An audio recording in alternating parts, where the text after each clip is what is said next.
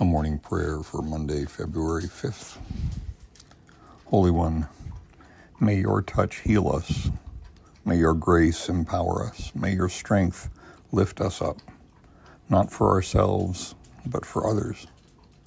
Not many of us are called to world changing tasks, but all of us are called to serve to the mundane tasks of our daily routines, to infuse them with grace and love so that our presence in other people's lives is a reflection of your presence. May our words bring healing. May our graciousness empower others.